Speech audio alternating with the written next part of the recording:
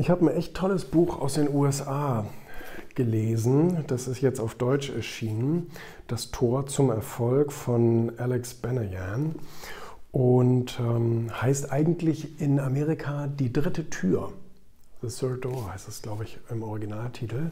Und äh, macht tatsächlich, finde ich, sogar noch ein bisschen mehr Sinn. Moment, The Third Door, genau. Ähm, weil es in dem ganzen Buch um das Konzept der dritten Tür geht bedeutet, wie kommt, also er beschreibt das folgendermaßen. Es gibt den normalen Eingang zu einem Club. Ja? Club steht jetzt auch für Synonym für gesellschaftliche Ebenen und Unternehmenserfolg und tralala. So, da gibt es den normalen Eingang, wo sich jeder anstellen kann. Dann gibt es den VIP-Eingang für die Leute, die sozusagen schon sich einen Status erarbeitet haben, Geld haben und so weiter und die dann eben vorgelassen werden. Das ist der zweite Eingang. Und die dritte Tür ist die, die es gar nicht gibt. Die dritte Tür ist die für die Leute, die sich weder hinten anstellen wollen, noch bereits VIP sind oder irgend sowas, sondern die müssen sich sozusagen, wie er das beschreibt, über den Hinterhofzaun klettern, eine Scheibe einschlagen, versuchen durch die Küche zu kommen und sich dann am äh, Sicherheitspersonal vorbeizumogeln und dann in den Club zu kommen. Und ähm, das ist nämlich seine eigene Story. Ich finde die Story echt gut, ähm, weil er schreibt, er wollte immer gerne für seine Generation, das ist ein junger Typ, so irgendwie 20 Jahre alt oder was weiß ich, ähm, er wollte für seine Generation die Erfolgsgeheimnisse der super erfolgreichen aufschreiben. kam irgendwie bekannt vor.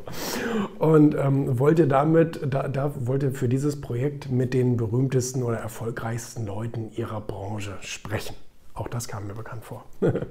und ähm, dann hat er gesagt, ja Mensch, ich will Bill Gates interviewen und ich will irgendwie, ähm, ja, keine Ahnung, äh, Lady Gaga interviewen und ganz, wen hat er hier noch so? Ähm, Steve Wozniak von, von Apple und ähm, Jessica Alba als Schauspielerin und auch Unternehmerin. Ähm, ja. Und da wollte er dann ein Buch draus machen und äh, so weiter und so fort.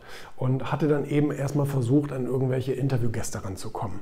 Und die haben ihm natürlich alle gesagt, wer bist denn du? Ne? Das Buch gibt es ja gar nicht, du hast keinen Buchvertrag, also das kann ja, kann ja sonst was bedeuten, was du uns da erzählst.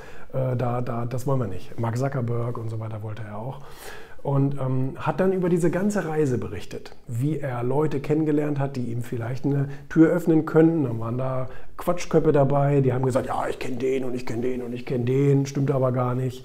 Und ähm, ist dann da eben ganz oft auf die Nase gefallen. Und ähm, interessant äh, war, es begann damit äh, Kapitalbeschaffung. Er brauchte ja Geld für seine ganzen Flugtickets und er musste das ja irgendwie bewerkstelligen. Und ähm, da hat er eine Game Show gehackt. Ne? Also nicht technisch, sondern er hat herausgefunden, wie man als Kandidat in diese amerikanische Game Show kommt, um dann da Geld zu verdienen, äh, also gewinnen. Und ähm, hat dann dieses Geld dafür benutzt, ähm, eben hier diese, diese Reisen anzutreten. Aber die meisten Reisen, die meisten Reisen, die er unternommen hat, haben gar nicht zum Erfolg geführt, weil er auch also ich habe da selber die ganze Zeit, weil es ist ja ein bisschen ähnlich meiner Geschichte. Und ich habe die ganze Zeit auch seine Fehler erkannt. Also er ist da mit, mit völliger Naivität, aber das ist sicherlich der Generation Z geschuldet, weil die glauben, alles ist möglich, ist es theoretisch auch, aber man muss schon die richtigen Hebel dafür finden.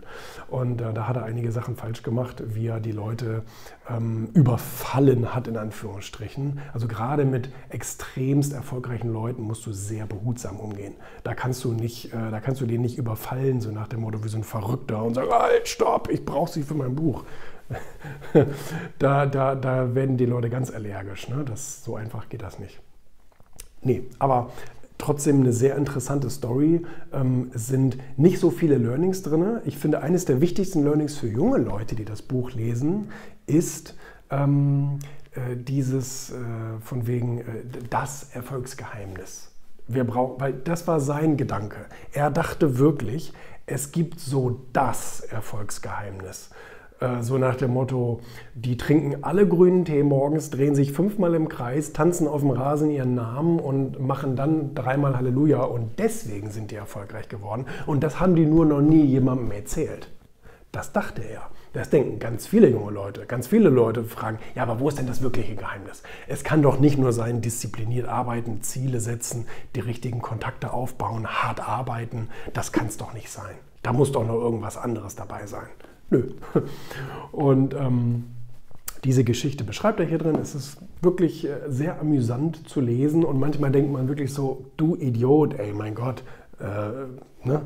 Aber das macht es das macht es wirklich interessant. Beim Finanzbuchverlag erschienen, guter Verlag, guter Verlag, sind auch andere gute Bücher erschienen. Ja,